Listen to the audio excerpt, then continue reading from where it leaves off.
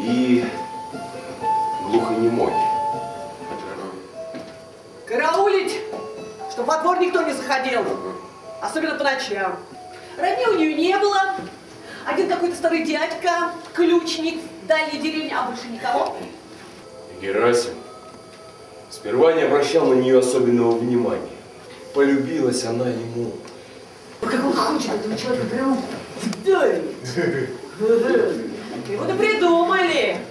Вдруг, увидев Татьяну, он закивал головой, замахал руками по обыкновению.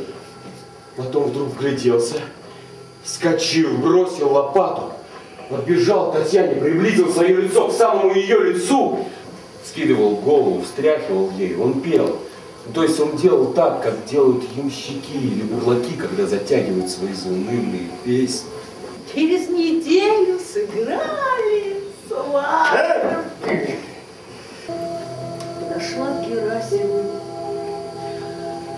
Три раза его поцеловала по-христиански. Маленький щенок белого цвета с черными пятнами. Он барахтался, скользил и никак не мог выбраться из воды. Придя в свою коморку, он уложил щенка на свою кровать. А Муму? Она тоже любила Герасима.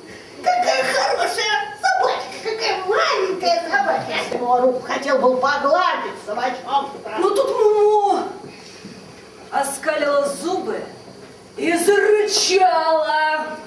Выбежал на улицу, поймал первого попавшегося извозчика и поехал в охотный ряд.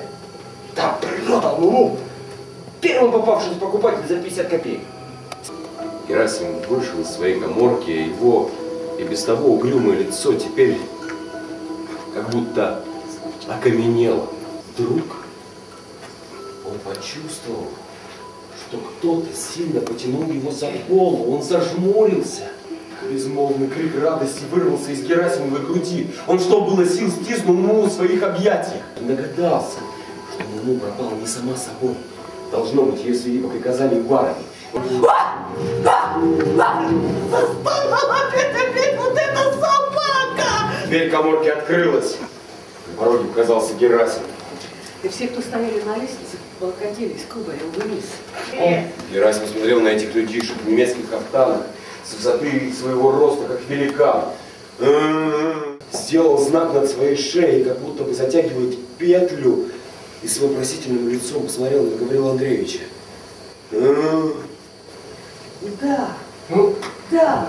Сам берет на себя уничтожить Муму. Герасим вышел из своей коморки. Он вел Муму на веревочке. Герасим зажмурился, отвернулся и разжал руки.